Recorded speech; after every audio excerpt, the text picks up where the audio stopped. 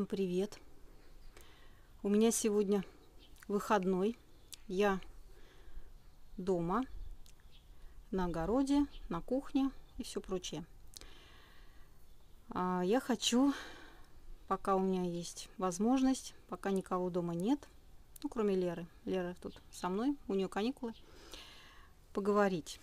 Поговорить о детках и вот о сердобольных разных взрослых людях, которые стараются угостить других детей разными вкусняшками, конфетками, карамельками э, в транспорте, даже просто на улице. Товарищи взрослые, подумайте.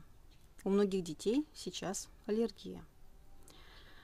И неизвестно, э, знает об этом например, их мама или не знает. Может быть, ваша конфетка окажется для этого ребенка толчком к развитию серьезного заболевания.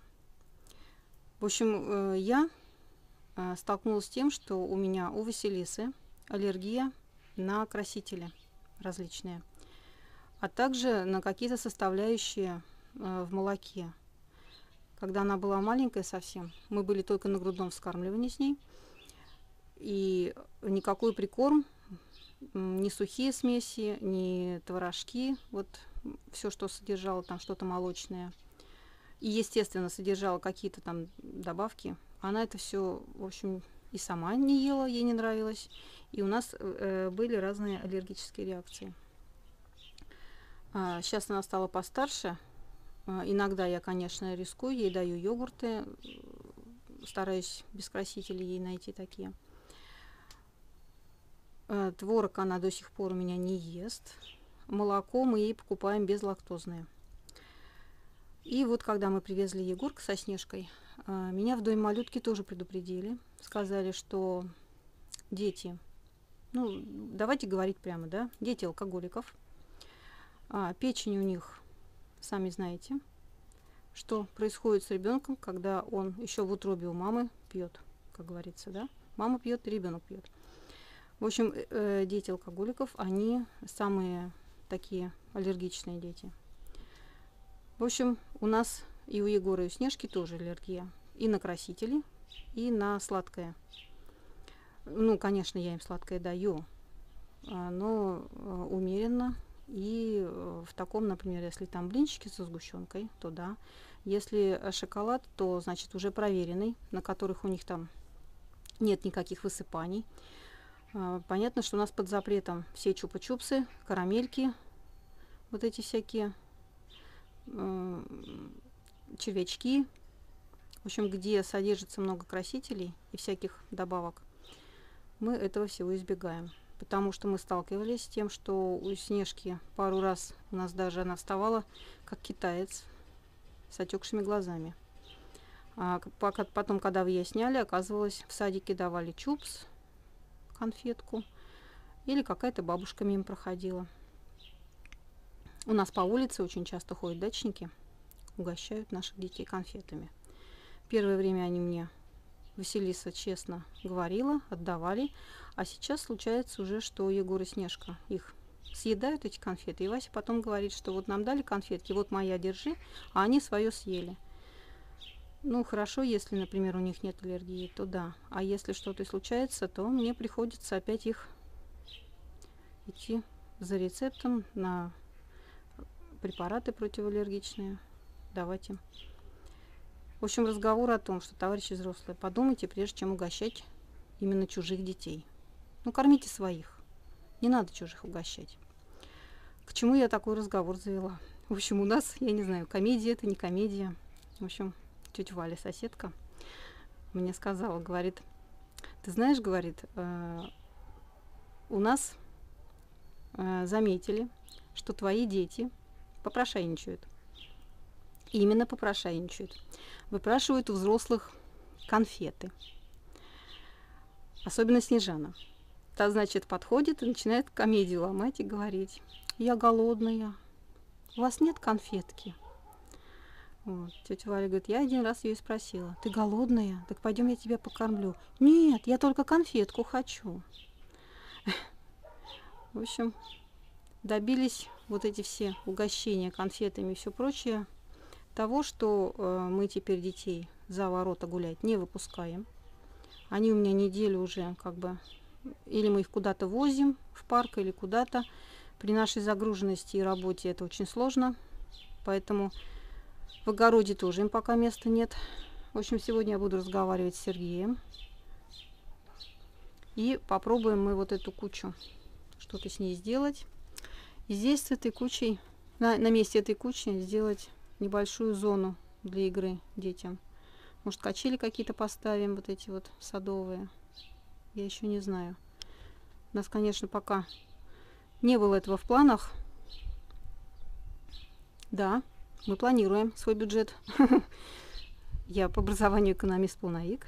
Последний выпуск, если что. Таких больше не выпускают. А, в общем, будем думать, что... Потому что детям гулять надо, но я не хочу, чтобы моих детей обзывали попрошайками. Вот. Ну, что хочу сказать. То, что конфеты выпрашивают, это, наверное, многие дети так делали. Я сама в детстве так себя вела. Но у меня было детство, честно скажу, голодное. Это было страшное детство, если сейчас сравнивать с нынешними детьми. Я действительно не видела сладкого, и мне хотелось. Но мы выпрашивали не конфеты, мы выпрашивали денежку на мороженку. Было такое, было, признаюсь. Так, что у меня было у Никиты, у старшего? У Никиты у меня был такой анекдот из жизни – в общем, я по работе приходила к одной женщине вечером э, с документами. Она мне объясняла, как и что нужно сделать. Я была только в начале, как говорится, работы.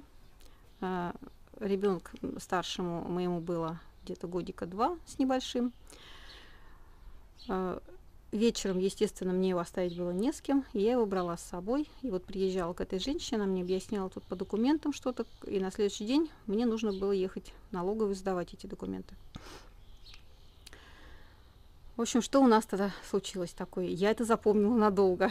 Спрашиваю, Никит, ты помнишь? Он говорит, нет, я не помню. А я вот запомнила. В общем, когда мы стали уходить, э, ну, есть же, да, рамки приличия какие-то. И вот женщина, э, как бы из приличия, она спросила, так может быть вот чаю? Я говорю, да ну что вы, мы уже поехали, мы, нам уже пора. А мой Никита говорит, да что чаю? Я бы супчика поел. В общем, вот такой анекдот у меня на всю жизнь. А, потом у нас Миша еще. Миша звезда полей был и огородов. Маленький когда. Мы ездили на юг отдыхать. А, я стою на одном месте. Сейчас хоть до теплички своей дойду. А, мы ездили на юг отдыхать. Значит, и вот на пляже по пескам. Он у меня маленький, еще не умел ходить.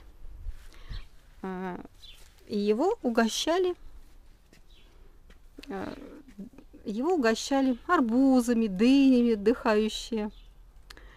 Вот. И когда видели, что кроме Миши есть еще и Никита старший, то ну, многие отрезали еще и на Никиту арбузика. Вот. А когда, например, если большая компания, то могли и нас угостить. Но, в принципе, мы тоже так же делали. Если мы где-то отдыхаем, и что-то у нас есть, например, там фруктов много, да, почему бы не угостить других детей? Но мы спрашивали разрешение у родителей, потому что мы воспитаны по-другому, наше вот поколение.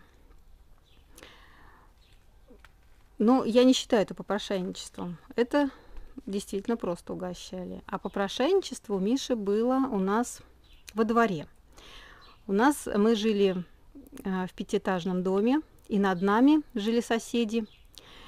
И, в общем, э, Миша что делал? Э, его бабушка, там соседка вот эта над нами, которая жила, иногда угощала конфетками. Ему это нравилось. И что он делал? Он, значит, вставал под балкон и кричал. «Бабушка, вас там на улице вызывают!» Она, кто меня, милый, вызывает? А я не знаю, кто. Да, спускалась с четвертого этажа вниз. И он ей тихонечко спрашивал, а конфетки нет? В общем, вот так. Ну, понимаете, вот э, к Мише, например, не было какого-то отношения или стыда, что он так делал. Мы просто над этим смеялись. Нам просто было смешно. И соседке также было смешно. Это было, э, ну как, ну жизненно, да. Вот. Потом еще один случай был. Никита, значит, приходит и говорит, я больше с Мишей гулять не пойду. Я говорю, что случилось? Мам, ты знаешь, что он сделал? Идут бабушки с огородов. Мы еще тогда тоже в квартире жили. Мимо огородов идут и несут лук, укроп и все прочее. Вот. У нас в этом недостатка не было, так как у Сережи тогда еще мама была жива, у них был свой огород, и мы так время от времени туда приезжали. И летом у нас, например, всегда был и лук, и укроп. Но э, случается, что оно портится, да, и как раз вот такой момент настал, что я из холодильника это выбросила, и мы бы, например, через день опять поехали за свежей зеленью. Миша это дело усек, и к бабушке сказал, о, и у вас там лук, у вас там укроп, а у нас в холодильнике закончился и лук, и укроп. А у той же целая хапка, она, да милый ты мой, да ведь не жалко, нам и золотой. И он припер домой, короче, охапку лука. Вера хихикает стоит. В общем, это истории жизни детей, кровных детей.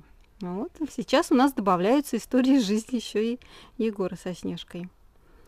Вот. То, что мне бабушка Валя, ну, соседка рассказала, меня, конечно, это с одной стороны улыбнуло, а с другой стороны, понимаете, в чем засада есть? Люди, которые вот мимо проходят дома, ну, кто знает, какие у них там тараканы в голове.